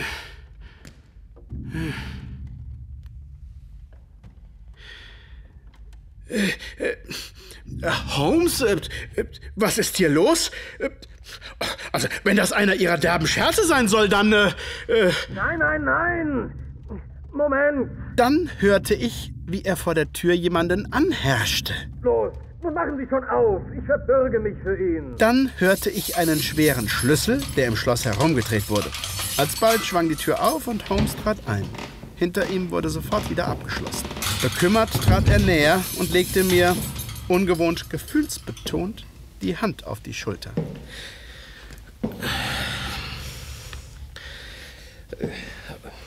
Und? Wie. Wie, wie, wie geht es Ihnen, alter Freund? Ich schüttelte verständnislos den Kopf. Mir, äh, mir würde es bedeutend besser gehen, wenn Sie mir verraten würden, was hier gespielt wird und äh, warum ich einsitze. Er sah mich traurig an. Na kommen Sie, setzen wir uns. Damit ließ er sich auf der Pritsche nieder. Verunsichert folgte ich seinem Beispiel. Der, der gestrige Tag ist Ihnen noch bewusst? Natürlich. Ich Gut. Gut. Sie. Sie erinnern sich an den Fall, den uns Major Wayne antrug und in dem wir zu ermitteln begannen? Sehr genau. Gut, gut. Und äh, unsere Gespräche mit Jones und Dr. Jekyll? Ebenfalls. Ich weiß sogar noch, dass Sie mir beim Abendessen in Aussicht stellten, heute früh die Lösung des Falles zu präsentieren. Ja, nun, das. Äh, das kann ich jetzt in der Tat, aber aber, aber dieses Mal wird Ihnen die Lösung nicht gefallen, bester Watson. Sie werden sie in keiner Ihrer Erzählungen verwenden können. Ich sah ihn verunsichert an. In welche Posse war ich hier nur geraten? Äh, was soll das heißen? Äh, ach, heraus mit der Sprache, Holmes! Er tat sich sichtlich schwer mit der Antwort. Was war denn nur geschehen, was ihn so dermaßen verändert hatte? Also, kurz und gut, der Mörder der drei ehemaligen Soldaten aus ihrem Regiment sind. Nun ja. Sie selbst, lieber Freund. Sie haben die Männer mit ihrer alten Webley erschossen. Ich hatte mit einem Mal das Gefühl, einen heftigen Faustschlag in die Magengrube erhalten zu haben. Tump und taub fühlten sich plötzlich meine Glieder an. Ich verstand nicht wirklich, wie Holmes dazu kam, so etwas zu behaupten. Denn ich begriff die Welt nicht mehr. Wie kann das sein, Holmes? Ich, ich erinnere mich nicht daran, irgendwelche Menschen, geschweige denn ehemalige Kameraden, erschossen zu haben. Wie soll das? Nein, nein, nein, das kann nicht sein. Das darf nicht sein. Hören Sie, ich war das nicht. Ich bin unschuldig. Ich könnte doch so etwas niemals tun, das wissen Sie, Holmes. Ich hatte mich in Rage geredet, doch Holmes drückte mich sanft wieder zurück auf die Pritsche. Beruhigen Sie sich doch, alter Freund. Beruhigen? Ich soll mich beruhigen? Angesichts eines solchen Vorwurfs? Sind Sie doch ganz bei Trost? Er wurde immer sanfter. Ein ungewohnter Ton, den ich bisher von ihm nur in Ausnahmesituationen gehört hatte. Hören Sie mir zu.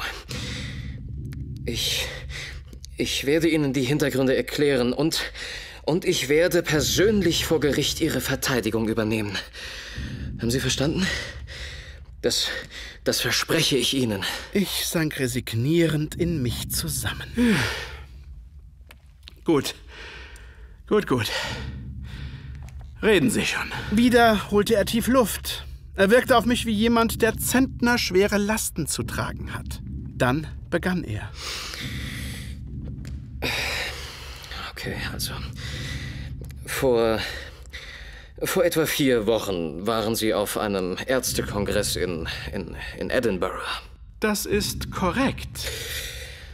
Ja, und äh, dort lernten Sie Dr. Harriet Jekyll kennen, eine, eine ungewöhnliche Frau, die Mitte der 70er Jahre in New York zum Doktor der Medizin promoviert wurde und sich nach ihrer Rückkehr nach London vor allem in Polizeikreisen einen gewissen Ruf als Koryphäe auf den Gebieten der Psychologie, der Neurophysiologie und der vergleichenden Verhaltensforschung erwarb. Ich dachte angestrengt nach. Dann schüttelte ich vehement den Kopf. Daran erinnere ich mich nicht, Holmes. Meines Wissens nach traf ich zum ersten Mal gestern auf Sie, als wir Sie besuchten. Er nickte langsam. Es lag nun eine seltsame Bitterkeit in seiner Stimme. Sehen Sie? Und genau hier beginnt der eigentliche Fall. Wie man mir auf eine entsprechende schriftliche Anfrage aus Amerika mitteilte, ist Dr. Jekyll auch eine ausgezeichnete Fachkraft im Bereich der Hypnose und der medizinischen Chemie. Sie hat ihnen ein Serum verabreicht und sie anschließend dergestalt hypnotisiert, dass sie sie vergaßen und fest daran glaubten, sie nicht zu kennen. Unglaublich, Holmes! Für einen kurzen Augenblick lächelte er. Doch es war keine Freude lediglich wohl der Hauch einer vergangenen Zeit, an die er sich erinnerte, in der noch alles anders gewesen war. Darüber hinaus war ihr Hinweis auf die Namensgleichheit mit einer Figur aus Stevensons Novelle Der seltsame Fall des Dr. Jekyll und Mr. Hyde Gold wert. Ja, er. Er brachte mich erst auf die richtige Spur, denn so unglaublich sich das jetzt auch anhören mag, nicht William Brody war Stevensons Vorbild, was sich mir ja auch schon nicht wirklich erschlossen hatte, sondern tatsächlich ein Dr. Henry Jekyll. In unserem Fall der Bruder von Harriet Jekyll. Was?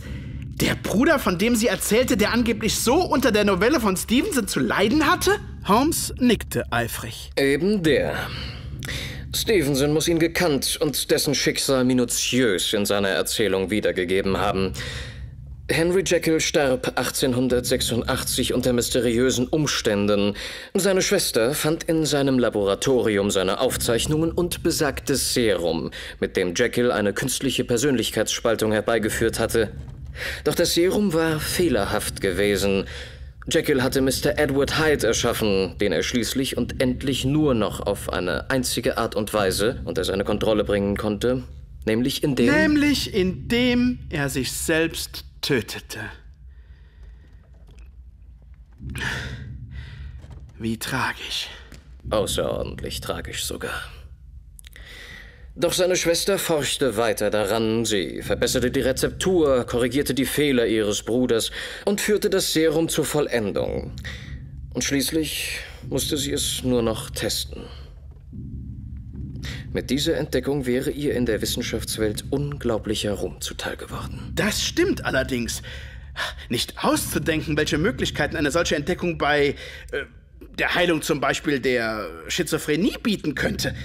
Unglaublich, Holmes, unglaublich. Leider war Harriet Jekyll selbst psychisch krank. Was besonders tragisch ist, da sie wirklich eine brillante Ärztin war. Ich sah ihn überrascht an. Dann nickte ich zustimmend. Ja, Genie und Wahnsinn liegen oftmals sehr nahe beieinander, Holmes. Mhm. Sie war besessen von der Idee, eine, eine eindimensionale Persönlichkeit wie Mr. Edward Hyde erschaffen und, und kontrollieren zu können. Sie, sie wollte sich mit seiner Hilfe an denjenigen rächen, die ihrer Meinung nach verantwortlich für den Tod ihres Bruders waren. Doch Doch für dieses Vorhaben musste es ausgiebige Tests geben. Eine geeignete Person musste her. Jemand, der absolut integer und verlässlich war. Dessen dunkle Seiten ihn aber auch zum Töten befähigten. Ab hier. Ab hier wurde aus ihrer Besessenheit Wahnsinn. Und aus ihrem Wahnsinn Methode. Mhm, Das, äh, das klingt einleuchtend. Ja. Und zu diesem Zeitpunkt lernte sie Sie kennen, alter Freund. Wahrscheinlich haben Sie ihr von Ihren Kriegserlebnissen in Afghanistan erzählt und von Ihrer spektakulären Rettung durch Ihre Kameraden. Oh je. Da hatte sie wohl den perfekten Kandidaten gefunden, wie? Genau so war es. Sie hypnotisierte sie, verabreichte ihnen das verbesserte Serum und. Und schon war ihr negatives Ich, Mr. Joshua Hamish, geboren. Das perfide an der Sache war, dass sie es nicht merkten, wenn er die Kontrolle übernahm. Vermutlich hat sie es immer so gesteuert, dass sich ihr Wachbewusstsein im Zustand des Schlafes befand, was es Hamish sehr leicht machte, sich zu manifestieren. Ich versuchte, das Gehörte zu begreifen und nachzuvollziehen. Äh, äh, äh, Sie meinen also, ich, äh, ich ging als John Watson schlafen, äh, stand dann kurz darauf als Joshua Hamish wieder auf, äh, verübte die Morde, äh, legte mich wieder hin und äh, wachte am nächsten Morgen nichts ahnend als John Watson wieder auf? Genau so verhält es sich, alter Freund. Holmes' üblicher Triumph, wenn er einen Fall aufgeklärt hatte, hielt sich merklich in Grenzen.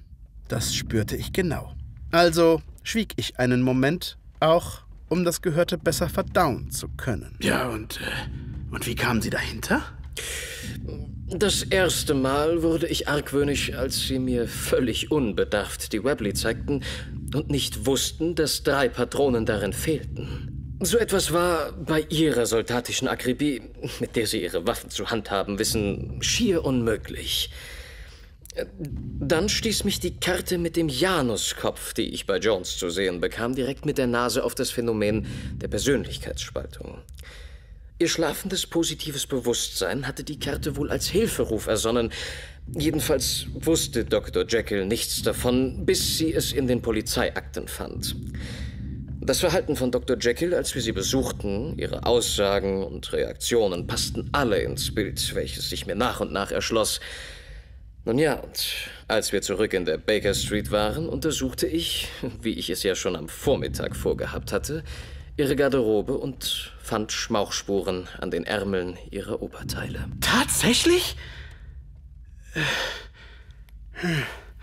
Wieso sind Sie mir nicht aufgefallen? Holmes versuchte wieder, mich zu beruhigen.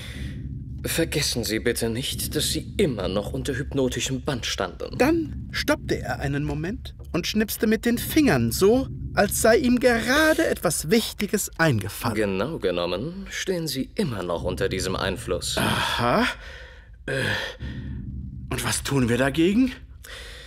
Ach, nur Harriet Jekyll könnte den Bann lösen, doch ach, das geht jetzt leider nicht mehr. Und äh, wieso geht das nicht mehr, Holmes?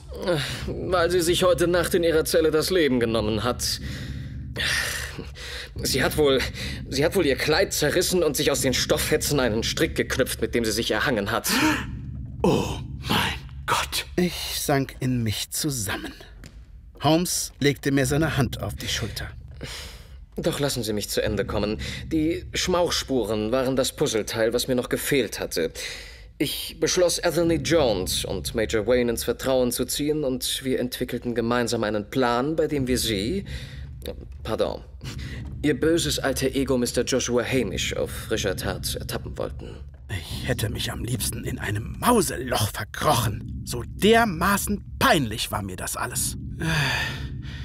Was ja dann wohl auch gelang, nehme ich an. Ja, in der Tat. Wir, wir hatten uns vor unserem Apartment in der Baker Street positioniert und sahen, wie sie um kurz nach 11 Uhr abends das Haus verließen und eine Droschke bestiegen. Wir folgten ihnen zum Friedhof von Highgate, wo wir sie dabei belauschen konnten, wie sie sich mit Dr. Jekyll trafen und die neuesten Instruktionen entgegennahmen. Nachdem sie sie verlassen hatten, wurde Dr. Jekyll von einigen Beamten vor Ort festgenommen. Wir folgten ihnen weiter zum Hafenviertel, wo sie vor dem Pub Old Inn in Stellung gingen. Kurz darauf haben sie versucht, einen vierten Mann zu erschießen, doch dieses Mal hatte ich vorgesorgt und die restlichen Patronen aus der Webley entfernt. Der British Bulldog konnte nur noch bellen, aber nicht mehr beißen. Ich begann angesichts dieser Eröffnungen zu hyperventilieren. Un ungeheuerlich, Holmes. Sie, Sie sehen mich fassungslos.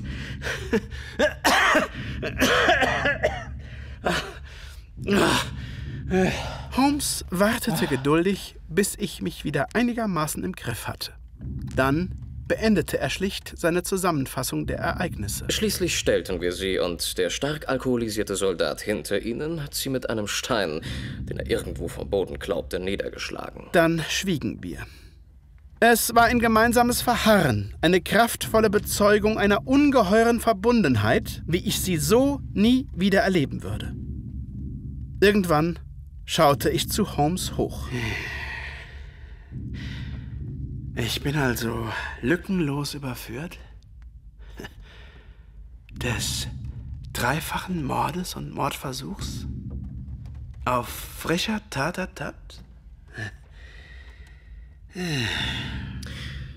Dem ist so. Äh, das, äh, das bedeutet doch, das bedeutet doch die Todesstrafe für mich, Holmes. Ich war in diesem Moment seltsam klar. Ich. Ich will Ihnen nichts vormachen, alter Freund, aber. Aber ich versichere Ihnen, dass ich alles in meiner Macht Stehende tun werde, um Sie frei zu bekommen. Und. Und. Äh, und wenn nicht? Bei den folgenden Worten sah ich zum ersten und einzigen Mal Tränen in Holmes Augen. Ich. Ich werde auf jeden Fall bis zum Ende an Ihrer Seite bleiben, alter Freund.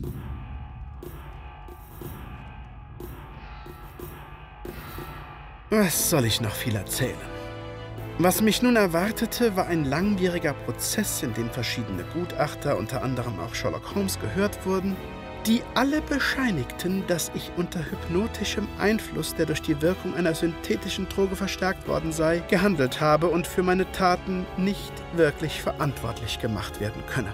Dennoch sprach mich der Richter unter Berücksichtigung der Schwere der Verbrechen, der Tatsache, dass ich ein ehemaliger Soldat war und des Rechtsgrundsatzes, dass Unwissenheit nicht vor Strafe schütze, schuldig im Sinne der Anklage und verhängte die Todesstrafe, nicht ohne sein Bedauern über dieses Urteil zum Ausdruck zu bringen, das er aber vor dem Hintergrund der Gesetze des Empire nicht anders habe fällen können.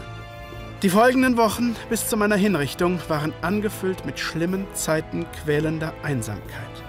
Langen Gesprächen mit Sherlock Holmes, Mycroft Holmes, Inspektor Lestrade, Detective Jones, Inspektor Craxton und sogar Mrs. Hudson, die mich tränenüberströmt besuchte.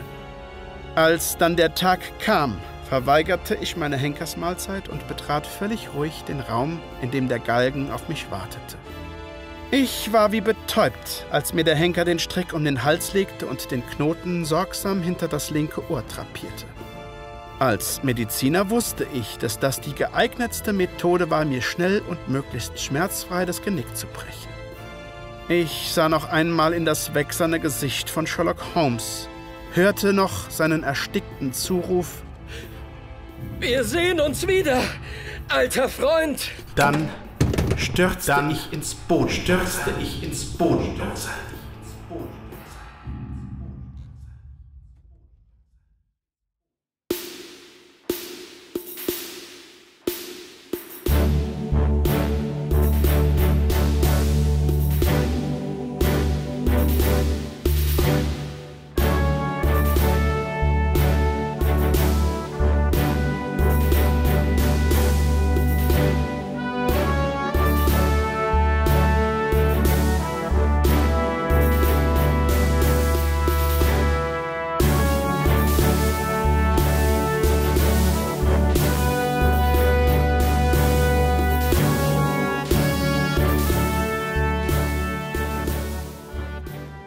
Im Apartment von Sherlock Holmes und Dr. Watson in der Baker Street 221b in London, England, 1895 gegen Abend.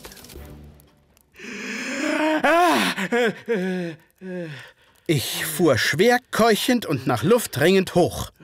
Langsam klärte sich mein Blick. Ich ruhte in meinem Sessel am Kamin. Holmes saß mir gegenüber, die Pfeife im Mund, in die Times vertieft. Das Feuer prasselte anheimelnd und alles war wie immer. Holmes sah nun von seiner Lektüre auf und starrte mich prüfend an. Ist Ihnen nicht gut, Watson? Sie. Sie sehen so blass aus. Ich sah ihn, immer noch ein wenig desorientiert, dennoch aber dankbar, an. Äh, äh, äh, ich bin äh, kurz eingenickt, Holmes, äh, und habe wohl äh, schlecht geträumt. Ja. Ja, das ist ja auch kein Wunder bei der Lektüre. Er deutete mit dem Mundstück seiner Pfeife auf das Buch, das wohl während meines Schlummers aufgeklappt auf meiner Brust gelegen hatte, mir nun aber, infolge meines schnellen Auffahrens, in den Schoß gefallen war. Ich warf einen Blick auf den Titel. Der seltsame Fall des Dr. Jekyll und Mr. Hyde von Robert Louis Stevenson. Natürlich. Ein Strahl der Erkenntnis huschte über mein Gesicht. Na, da hatte sich mein Unterbewusstsein aber eine äußerst makabere Verarbeitung des Gelesenen einfallen lassen. Argwöhnig griff ich mir an den Hals. Kein Strick. Gottlob. Tja, das ist ja. Also, von so einem Schund kann man ja nur Albträume bekommen. Damit wendete er sich wieder der Lektüre seiner Zeitung zu. Ich erhob mich, um mich etwas frisch zu machen. Außerdem brauchte ich auf den Schrecken erstmal einen Scotch. Also goss ich mir ein Glas ein, verließ damit unseren Wohnraum und betrat mein Schlafzimmer, wo der Sekretär stand, der mich jetzt geradezu magisch anzog. Ich nahm einen Schluck und genoss für einen Augenblick die wohltuende Wärme des Getränks in meinem Hals. Dann stellte ich mich vor das Möbel, atmete tief durch, öffnete das Fach, in dem ich die alte Webley verwahrte und nahm sie heraus. Sie aus ihrem Tuch zu wickeln und in die Hand zu nehmen, war eine flüssige, tausendfach gewohnte Bewegung. Ebenso das routinierte Öffnen der seitlichen Patronenzuführung und das Kontrollieren der Kammern in der Trommel. Dann griff ich mit zitternden Händen nach dem Scotchglas und leerte es in einem Zug, denn es fehlten drei Patronen.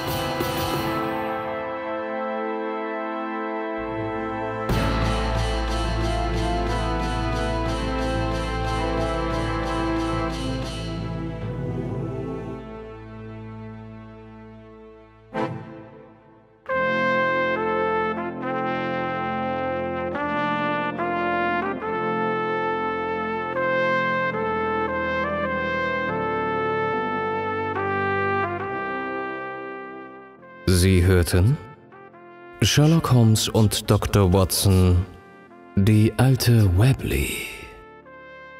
Ein Sherlock Holmes Intermezzo aus den bisher noch unveröffentlichten Fallnotizen des Dr. John Hamish Watson. Es sprachen Sherlock Holmes, Gerd Haas, John Hamish Watson und Erzähler Peter Weyand. Joshua Hamish und Erzähler Peter Weyand. Major Peter Wayne, Christopher Cousin, Athelney Jones, André Polis, Major Cecil Malone, Raimund Becker, Sergeant Thomas Gray, Alexander Meidinger, Harriet Jekyll, Konstanze Buttmann, Ansage 1, Daniela Günther.